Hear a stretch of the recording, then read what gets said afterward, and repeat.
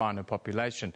But elephant and rhino poaching has reached crisis uh, proportions in southern Africa over the last five years. Uh, last month, the Minister of Environmental Affairs, Edna Molewa, announced that for the first time in a decade, rhino poaching statistics have stabilized despite 1,175 animals being uh, killed in the country in the year. But to deal with this crisis, John Hume, owner of the largest private rhino farm in the world, is fighting for the legalization of global rhino horn trade and believes that this is the only way to protect the species in the long run. Now, John Hume is with us in studio this morning. Uh, thank you for coming in, Mr. Hume. Very nice of you to join us here today. No problem. Let's start at the beginning. In, nine, in 2008, you decided to start your own rhino farm.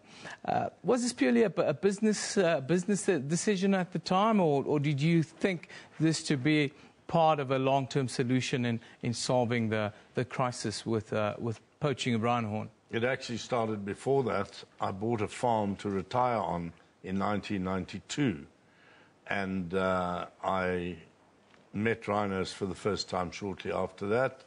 During the 90s, I became aware of, first of all, what wonderful animals they were, and secondly, the persecution they were going through in Africa. And uh, they literally climbed the top of my hit parade, and uh, I became more and more aware that if we didn't do something about it, we would lose them.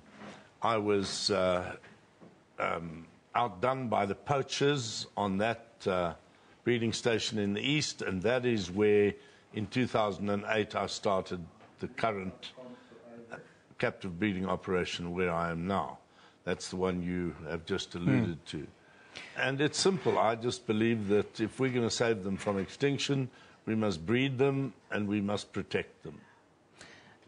You're quite passionate about legalizing this trade. Is it the answer, and why do you say so? Well, I believe the answer is what I'm doing, captive breeding operations. It's not what a lot of people think is very small, confined spaces. They are quite big spaces, but obviously not extensive mm. like our game reserves. So that makes it easier to protect them. I believe one of the ways to protect them is to take off their horns and make it less attractive to the poacher.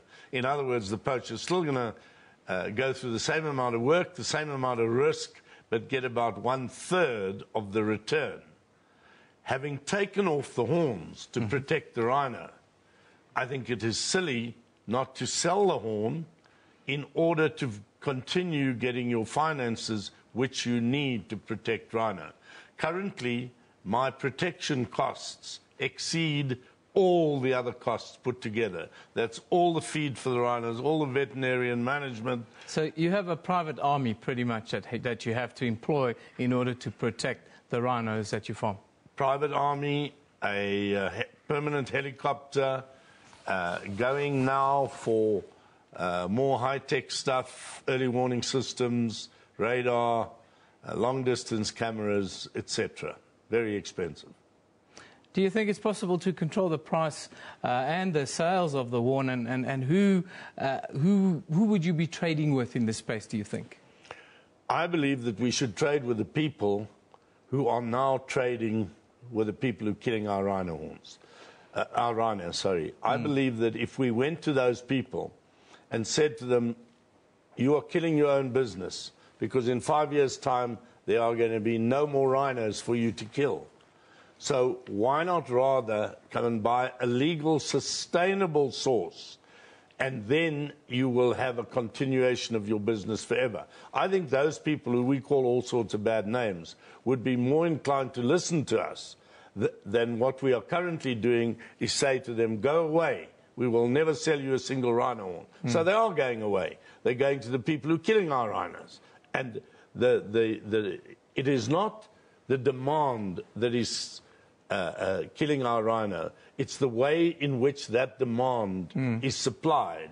That demand is being supplied from dead rhinos, and we are suggesting that it is rather supplied from live rhinos and uh, natural mortalities. The reality is that uh, rhino can regrow its horn uh, 15 times, up to 15 times in a, in a lifetime. About that, it grows about 10 centimeters a year. It also rubs it away naturally on trees and stones and things. So that's why it gets to a point.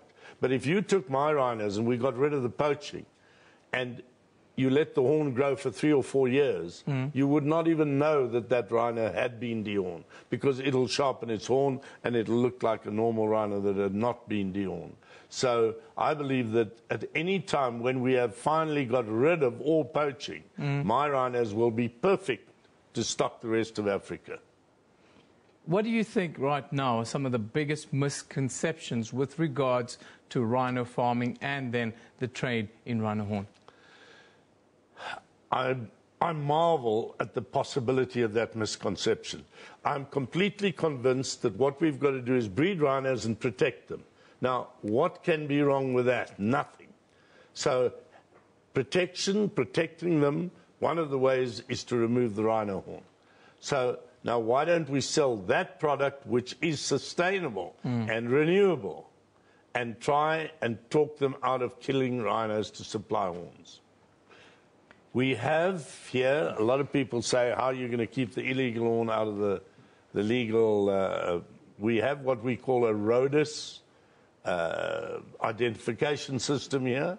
So it's very easy for us to make sure that anybody who wants to sell a horn, make sure it's legal.